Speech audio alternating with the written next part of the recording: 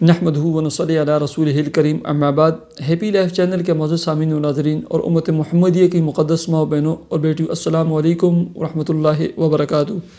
امید کرتا ہوں کہ آپ جہاں پر بھی ہوں گے، اللہ کے فضل و کرم سے خیریت سے ہوں گے۔ پیارے سامعین و ناظرین، کچھ دوستوں نے سوال پوچھا تھا کہ بسا اوقات ہم سحری کھا رہے ہوتے ہیں تو عذر سے موزن صاحب اذان دینا شروع ہو جاتے ہیں۔ کیا اذان ہوتے ہی ہم سحری بند کر لیں؟ یا اذان کے آخر تک کھانا پینا جاری رکھیں۔ پیارے سامعین و ناظرین، یاد رکھیں، اذان یہ علامت ہوتی ہے کہ سحری کا وقت ختم ہو کر صبح پوری صادق ہو چکے فجر کی نماز اور فجر کا ٹائم شروع ہو چکا ہے۔ ایسے جتنی بھی نمازوں کے لیے جو اذان دی جاتی ہے، یہ وقت کے دھول کی علامت ہوتی ہے کہ فلاں وقت کی نماز کا وقت دہر ہو چکا ہے۔ اصل دار و مدار وقت اور ٹائم ہے۔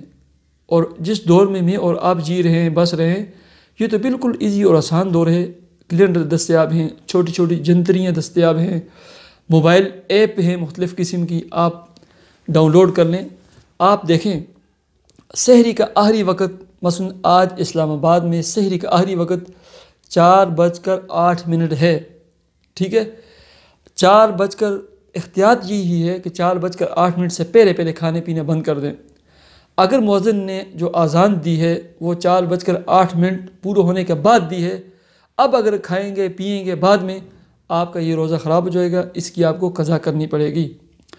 اور اگر موزن صاحب نے آزان دی ہے لیکن آزان اس نے پہلے دی ہے، کیونکہ موزن آزان کا کوئی اعتبار نہیں، بس اوقات یہ پہلے دے دیتے ہیں، بس اوقات بعد میں دے دیتے ہیں، ٹھیک ہے؟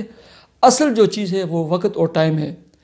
اگر موزن صاحب نے اذان وقت سے پہلے دے دی، ابھی سحری کا آخری وقت نہیں ہوا، اگرچہ بھلے اذان ایک دن کہ دس اذانیں ہو جائیں، آپ کھا بھی سکتے ہیں، پی بھی سکتے ہیں۔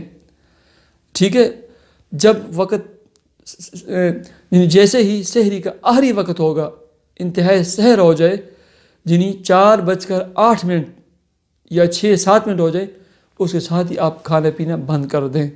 اگرچہ اذان نہ بھی ہو، ٹھیک ہے؟ یاد رکھیں اذان علامت ہوتی ہے، اذان کا دار و مدار، اذان کا اعتبار نہیں ہوگا، اصل جو چیز ہے جس کا اعتبار کیا جائے گا، وہ ہے وقت اور ٹائم۔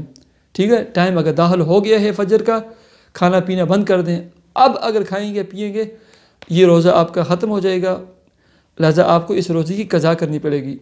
اور اگر ابھی وقت باقی ہے، پانچ منٹ، دس منٹ باقی ہیں، اگرچہ دس اذانیں کیوں نہ ہوں، آپ کھا پی سکتے ہیں آخری وقت تک۔